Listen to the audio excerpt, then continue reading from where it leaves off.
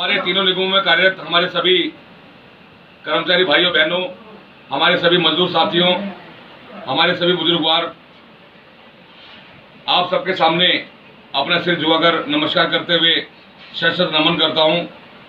जिस प्रकार हमारे सभी माताओं, बहनों ने, हमारे सभी मजदूर भाइयों ने 28 दिन तक लगातार अपना अधिकार पाने के लिए जो संघर्ष किया है, उसके लिए हम बहुत कायल हैं और बहुत बहुत धन्यवाद करते हैं। अपना अधिकार लेने के लिए जिस प्रकार हमारे समाज की महिलाओं ने ताकत दिखाई जंतर मंतर पर जाकर, न केवल सीएम को छोड़ा, बल्कि प्रधानमंत्री तक अपनी आवाज़ उठाई, हम बहुत बहुत धन्यवाद करते हैं। हम आपको विश्वास दिलाते हैं कि जिस प्रकार आज समाज के लोगों का साथ मिला है, हम भी, हमने पहले कह रखा और अब भी कह रहे हैं इस बात को, चाहे जान चली जाए, लेकिन जो अपने अधिकार हैं, उसके लिए हमेशा स्ट्रगल करते रहेंगे। इन मामले में हमारे साथ में जो भी सहयोगी संगठन है, प्रमुख रूप से आदरणीय वीर सिंह निगान जी, भाई नंदकिशोर डिलोर जी, मुकेश गहलोत जी, दिलीप पारचा जी, हमारे तमाम संगठन लोग हैं, उनका बहुत बहुत धन्यवाद करते हैं कि उनके आशीर्वाद से, उनके समर्थन से ये सारा का सारा काम संभव हो पाया इधर उत्तरी दिल्ली की बात करें तो भाई दीपक पियाल साहब, जेपी टांग जी, बहन पिंकी सूद जी, प्रिंस गोपी जी संजय कुंडिया जी, राजेश बेनीवाल साहब, डॉक्टर रामचंद्र बागड़ी जी इनके अलावा अगर साउथ दिल्ली की हम बात करें, भाई अनिल लोड जी, राजेश खेड़ी जी, भाई रवि झटिकरा जी, हमारे भाई अजय ढाका जी, महिपाल राणा जी, पवन टांग जी, और सभी हमारे साथी भाई वीरेंद्र चुड़ियाना जी, प्रेम सागर जी, और हम सबके परम आदरणीय चेतन दास चामरिया जी, जिनके अथक प्रयासों से ये हड़ताल कामयाब हो पा रही है और हुई है।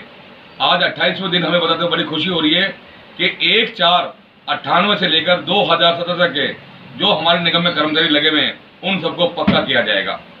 इसमें देखने वाली बात ये थी कि आपने देखा होगा कि कमिश्नर वगैरह अपनी जो भाषा लिखते हैं उसके अंदर, फिर हमेशा हम लटक जाते थे। हमने उस बात को नहीं माना। हमारा उनसे यही लड़ाई थी। हम चाहते थे कि इसमें पॉलिटिकल विंग सामने ना आए। हमारे सामने जो एडमिनिस्ट्रेटर है, जो कमिश्नर है, वो उसमें बाउंड हो जाए सही तरीके से। आज दोबारा जिस प्रकार आप लोगों ने मिलकर वहाँ जंतर मंत्र पर प्रयास किया, देश के प्रधानमंत्री तक ये बात पहुँची, उनके इसमें असीम सहयोग से, या यूँ कह लीजिए, उन्होंने डर के मारे, या आपको खौफ इतना लगा उन्होंने कहा इनका काम होना चाहिए। आज कमिश्नर ने ना चाहते हुए भी जब दबाव उनके ऊपर बना तो एक चार अट्ठानवे से लेकर दो हज़ार सत्रह के लोगों को मारने के लिए तैयार हो गए। उन्होंने दोबारा फ़ाइल मंगवा ली, उसको अपने साइन करे दोबारा से, और ऑर्डर एक नया कंटिन्यूशन में निकाला उन्होंने। और साफ़ साफ़ लिख के दिया उसके अंदर कि this issues under the approval of the commissioner यही बात हम लोग चाहते थे। साथियों, इसमें थोड़ा दुख वाली बात यह भी रही कि आज चार पाँच दिन पहले हमारे जो सहयोगी संगठन थे, दो लोगों ने हड़ताल को विफल करने के लिए आंदोलन कुचलने का जो काम किया है समाज के प्रति, उनसे बड़े हताश हुए। लेकिन कोई बात नहीं, भगवान जो करता अच्छा करता है। वे दो लोग गए, उनके बदले दस हमें समाज सेवी हमें मिले, इनसे और दबाव अच्छा बना उन्होंने और विफल करने के लिए, एक तो ऑफ़र लेटर निकलवाए, छह ऑफ़र लेटर निकलवाए। उन्होंने ये नहीं देखा, उन पर साफ़ साफ़ लिखा हुआ है कि अभी इसमें लीगल ओपिनियन ली जाएगी, यानी कानूनी सलाह ली जाएगी, और अगर कोई गलत पाया गया तो कर्मचारी को ऑफ़र लेटर मिला, उनको रद्द कर दिया जाएगा। तो साथियों, ये बहुत गलत बात है, उन्हें ऐसा नहीं करना चाहिए।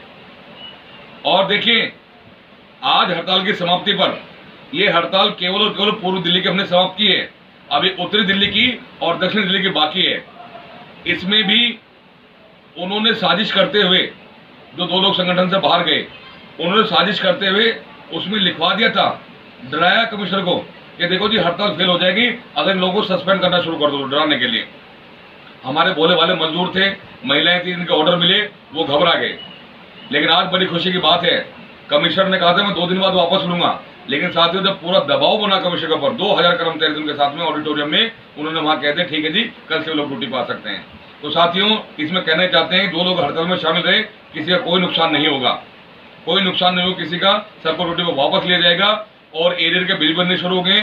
इसी प्रकार जो तनख्वाह काटी गई है, कमिश्नर ने कह दिया कि उनके बिल बनाए जाएँगे, एक सप्लीमेंट्री बिल बना के उसको पास करा के उनकी तनख्वाह दी जाएगी। क्योंकि काम तो हमें करना पड़ेगा। काम तो हमें करना पड़ेगा ना। बस इसके लिए हमने कहा कि हम ओवर टाइम नहीं मांगेंगे इस काम का, क्योंकि पंद्रह दिन हमने काम नहीं कराया, अट्ठाईस दिन काम नहीं करा हमने तो उसके हम भरपाई करके देंगे। साथियों, हम स्वयं भी सफ़ाई कर्मचारी है। आपको विश्वास दिलाते हैं कि जिस प्रकार वहाँ लाठी चार्ज हुआ, हम वहाँ से भागे नहीं। चाहे बेशक वहाँ खड़े खड़े पिटते रहे। इसी प्रकार से हम सफ़ाई मजदूर हैं। आप सबके साथ में हम भी कल से काम करेंगे मतलब वहाँ जाके। तो देखिए, अभी केवल पूर्व दिल्ली की हड़ताल समाप्त हुई है, दक्षिण की, उत्तर दिल्ली की। वहाँ के हमारे सारे नेतागणों को, सारे सफ़ाई मजदूरों को ये आश्वस्त किया जाता है कि जिस प्रकार पूर्व दिल्ली के कर्मचारियों ने अपनी ताकत दिखाई है, ऐसी आप लोग भी दिखाएँ तो देखिए एक दिन में बात बन सकती है। वैसे तमाम मीडिया, आपने आज भी देखा होगा टीवी चैनल पे, आज तक पे ऑडियो ली गई थी, उसमें उन्होंने साफ़ साफ़ कह दिया कि ये हड़ताल, क्योंकि हमारे एक चार अट्ठानवे से लेकर दो हज़ार सत्रह लोगों को करने का मान लिया, इसलिए हमने कल वहाँ की हड़ताल वापस ली, पूर्व दिल्ली की।